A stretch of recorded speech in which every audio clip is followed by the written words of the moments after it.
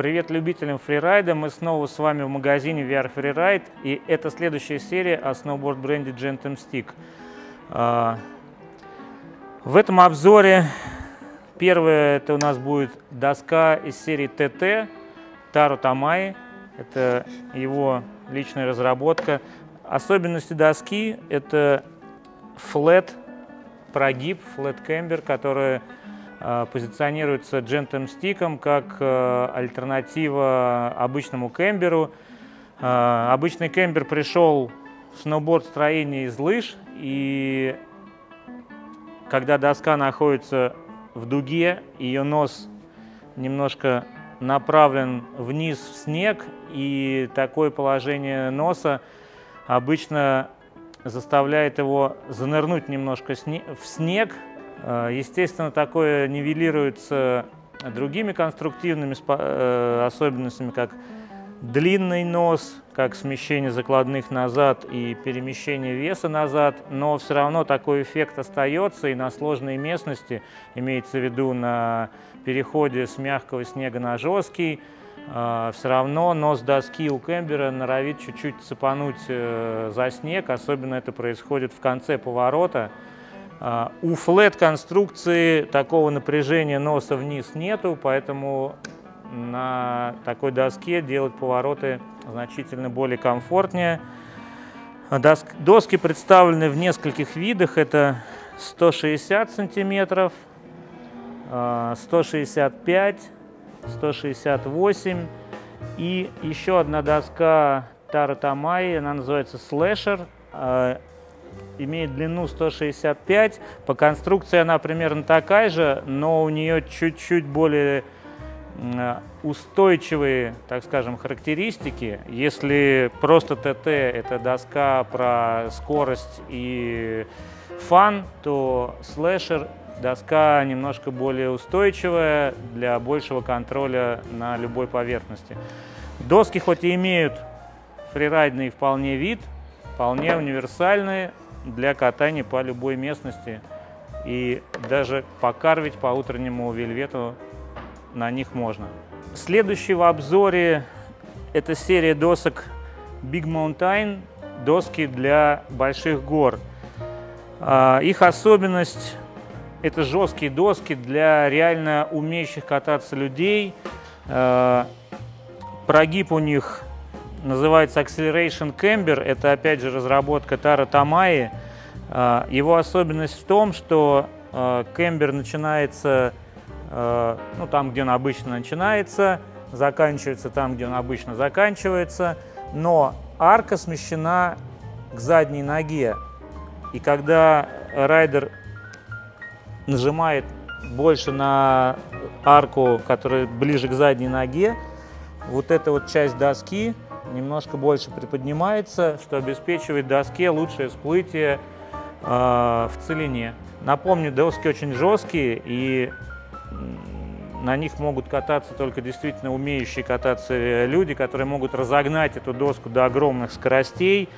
В нашей линейке есть доска Zephyr 160 длины, есть доска Magic 168 длины, есть 172 Speedmaster, Speedmaster и есть доска Impossible 186. То есть это огромная узкая рельсина, которая,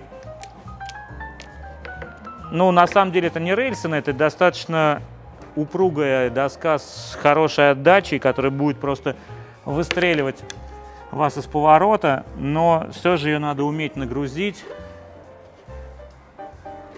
для любителей высоких гор и больших скоростей.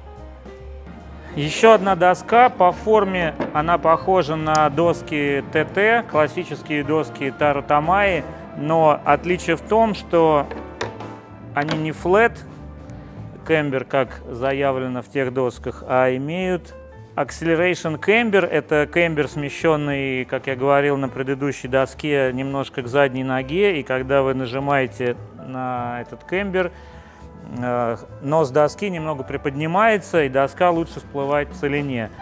Э, доска относится к серии Floater. У нас всего две такие доски. Это 162 доска мужская и, как я уже говорил, 153 позиционируется больше как женская. Но, в принципе, на ней могут кататься какие-то совершенно легкие мужчины э, в весе, допустим, до 60 килограммов. Доска универсальная.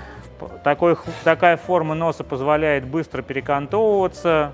На ней можно кататься совершенно в любых погодных условиях и по любой территории.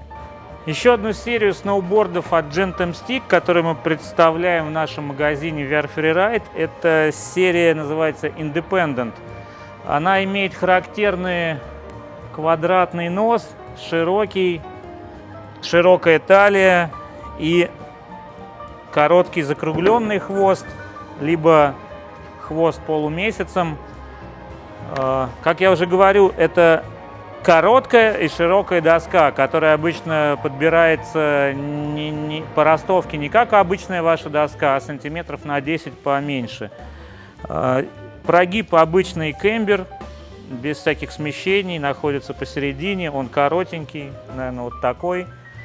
А, такая доска подходит для карвинга по жесткому снегу идеально. То есть она жесткая, она будет, не будет цеплять, э, даже если ваши ботинки имеют большой размер, мыски, мысками за снег. Э, доска универсальная, подходит для катания и на фрирайде, то есть такой широченный длинный носяра вывезет вас в любом снегу.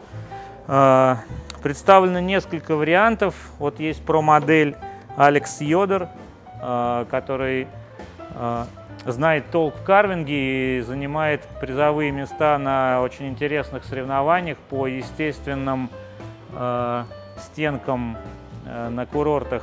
Такие проводятся в Японии, у нас я ни разу таких не видел. Э, это 157 доска, 155 доска, называется Stingray, очень интересный такой матовый черный цвет, очень стильно. 156 Монтерей и Giant Monterey 159. Все э, характеристики, как ширина носа, хвоста, талии, э, все находится на сайте, либо на фирменном сайте Gentem Stick, либо на нашем сайте VR Freeride, так что добро пожаловать, заходите на сайт, смотрите характеристики. Очередная серия досок от Gentem Stick называется «Альтернатив». Э, формы такие, что я, например, таких не видел, не трогал в своей жизни никогда, но очень хочу попробовать на них покататься.